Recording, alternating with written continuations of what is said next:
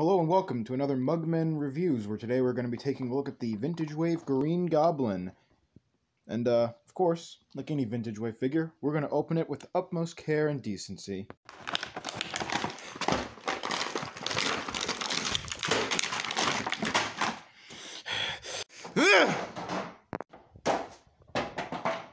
A goddamn minute!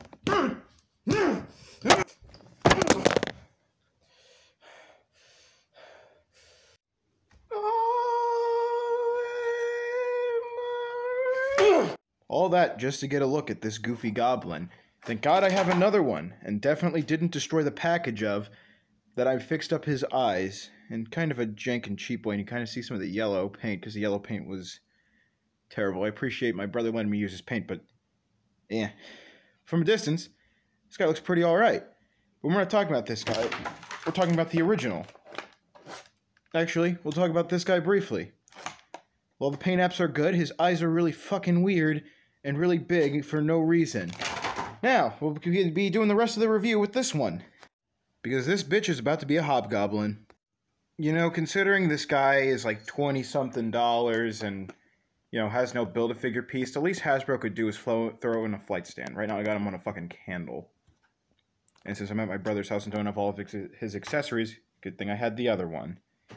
So, uh, yeah. Despite this coming in comic book style packaging, I misspoke, meant to say animated series style packaging.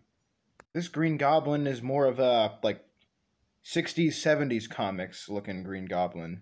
And I must say, looks pretty cool. Now, there's something I've noticed, which you might not be able to pick up on, especially when it's this close and unfocused. There's like a little white speck of paint there, right? But on the other one, there's also a little white speck of paint. That's fucking weird. That's very weird. So kind of just swapped the heads because uh, old one's belt's a little messed up. So uh, the details, I mean, generic body, reused uh, arms and legs, but looks pretty cool, all things considered. Very, very classic Green Goblin we got here. Even if the uh, purple is a very pink shade of purple and the bag is just straight up pink. I mean, it's fitting. It's in keeping with the design as far as I remember. And again, most of the times when I read those fucking comics from the 70s, they were in those big ass black and white, what were they called? Essentials? Anyone else remember those? It's just a big ass collection of like 38 issues of Amazing Spider Man, all in black and white. So it was up to my imagination to imagine whatever the hell colors these characters were.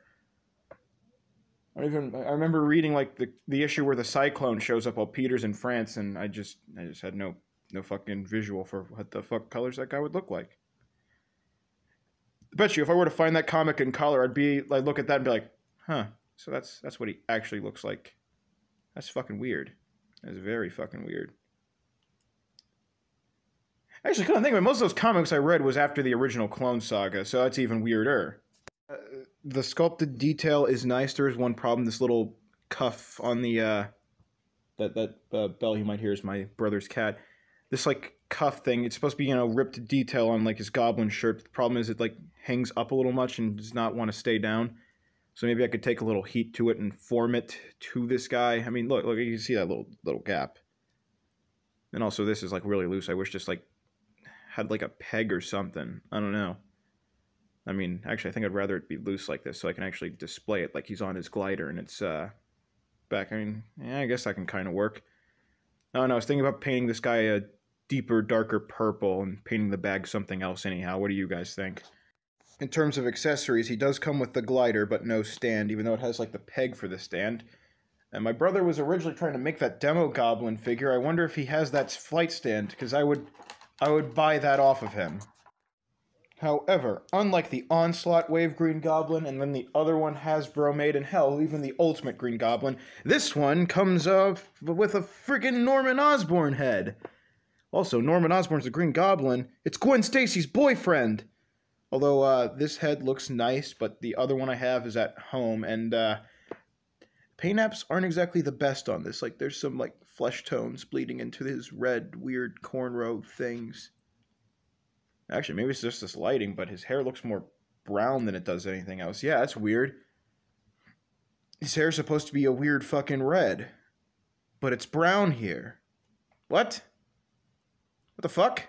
He also has a pumpkin bomb that has a lot of detail and a opaque greenish flame, which is kind of weird. Like you would think would be transparent or something. But no, no, it's completely opaque. Wonder why. Has some rather excellent paintwork, at least on this buckle. They remembered to paint this one silver, not the other one. No, the rest of the satchel is pink. Now, in terms of articulation, okay, let me zoom the camera out because I got a really jank setup here. Now, in terms of articulation, his head goes uh, this far up and this far down with the Norman Osborn head on. He's got no head pivoting, moves side to side. Now, with the Goblin head on, it moves pretty far up, despite, you know, the weird cap thing, actually, and a pretty good degree down a little tiny bit of neck pivot, which is great for you can have some crazed ass looking goblin here about to go touch Gwen Stacy. It's consensual, of course. I mean, she he is the father of uh, Gwen Stacy's kids, after all. And of course, you got your rotation and all that good stuff. Now, at the shoulders, they go out about that far, and thank God that's molded plastic, or else hella paint rub. Actually, this one I think goes out a little more. Maybe if I can force it. Yeah, Eh, about that much.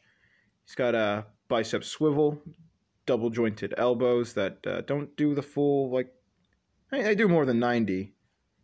Maybe I can fix that the same, I guess it's about 90. I, maybe I can fix that same way I fix it on a Spider-Man. Uh, he's got rotation at the wrist and a wrist hinge, and the hinge is the same way on the other hand. All right, he's got an ab crunch that goes a disappointing degree forward, but you know he's like 50 how limber is he going to be? And pretty far back, actually. Uh, waist rotation. Thighs go uh, out that far, back that far, and uh, forward this far. Pretty decent degree forward. It's got an upper thigh rotation, double jointed knees, boot rotation, which is always missing from Spider Man, but since this is not a Spider Man figure, I will not freak out. Uh, ankle rocker moves uh, that far down, that far up, and of course, Hasbro's Stylin' Ankle Pivot. Honestly, can't wait to make one of these guys into a Hobgoblin. Now, using the jankiest uh, tape measure of all time, and these two being, of course, the exact same figure, you can see that they're standing at about a height of eh, a little over uh, six and a half inches tall, especially to the ears. Now for some size comparisons. So here he is standing next to his uh, rival for Gwen Stacy's affection. We have Pootangus Parker, the vintage and Pootangus Parker uh, PS4 edition. Both kind of modified, and at first I thought this guy was a little shorter than he should be, but he was just standing kind of awkwardly. Still uh, no luck securing the uh, second one so I can modify this guy. And uh, gotta make a review for him. Yeah, you look uh, in scale. I mean, maybe he is just a little shorter than I expected because I kind of thought Spider-Man would be tall, but uh, yeah, looks pretty good.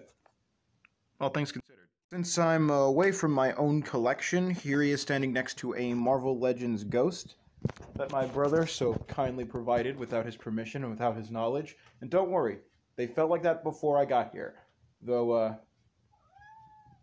hi Zora, you got to fix and actually, I have yet to get that Electro, but I noticed my brother also has one of these Green Goblins.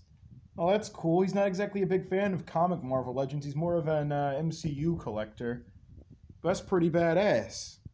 Honestly, my brother has a much better way of displaying his collection than I do. And here he is standing next to a Mezco Spider-Man, and not a custom or bootleg, but the real thing.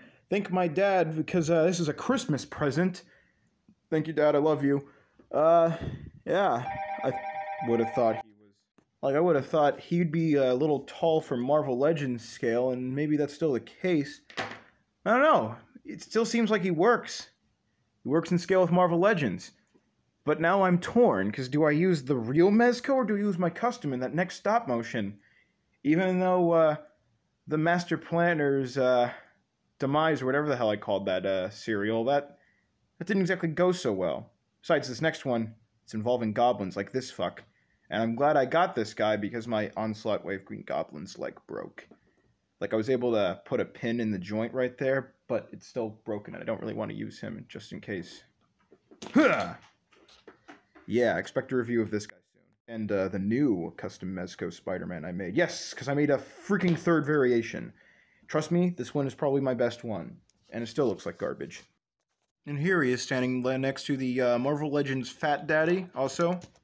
First Kingpin figure. Pretty cool. It's uh, based off the animated series.